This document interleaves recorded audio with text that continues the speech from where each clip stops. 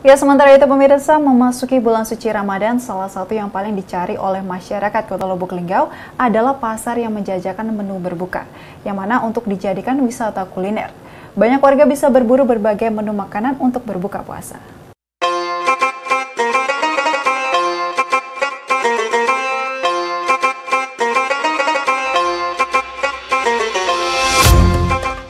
Ramadan menjadi bulan yang paling ditunggu umat muslim. Banyak hal yang hanya bisa didapatkan saat bulan suci Ramadan saja. Di setiap pasar daerah menjajakan dagangan berupa jajanan khas Ramadan dan menu berbuka puasa. Seperti di Pasar Moningspati yang terdapat penjual yang menjajakan untuk minuman segar seperti cincau, cendol, kolang kaling, delima, dan menu berbuka lainnya. Pedagang serba-serbi Ramadan Erlina menuturkan, ia berjualan minuman menu berbuka hanya di bulan Ramadan saja dan ia menjual cincau kolang kaling dengan harga Rp10.000.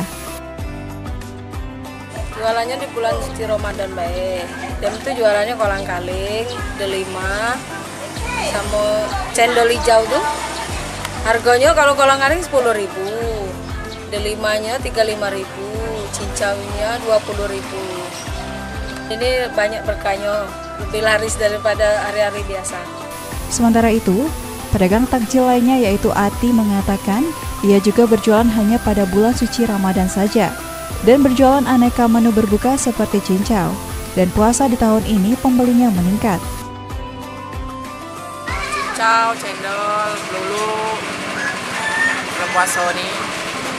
Kalau ada rezeki habis terus dua hari ini habis. Sedikit lagi pendapatannya dapatlah 200 300 ah dapat bantuan Mardiana Selampari TV melaporkan